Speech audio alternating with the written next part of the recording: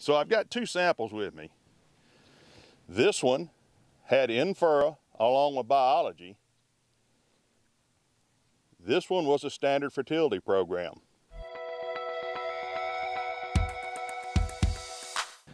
Hello everybody, Bert Riggan with Concept AgriTek. Today we're out here in McGehee, Arkansas, and we're looking at a corn plot.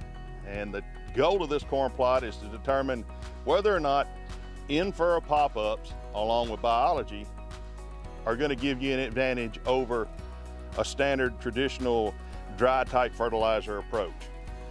This plant has up underneath it our Total FOSS, our new Bunch of Bugs 2.0, as well as a micro pack and our new Carbo Start.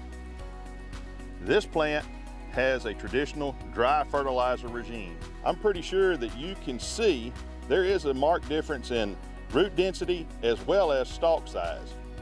And just so that make it a little bit easier, I cut these stalks on the bias so that hopefully you can see that there is a larger difference in the amount of xylem and phloem that is present in the treated stalk versus the untreated stalk. So what does all this mean? Well, if you've got more roots, you can take up more water and the plant has access to more nutrients. If you have a bigger stalk, you get better standability and the larger stalk also accommodates more trucks so that all of these hair roots that are here that are bringing in nutrition can get it to the rest of the plant, specifically your ear when you get into reproductive phase. Premium pop-up with biology, nothing. I think you can see the difference.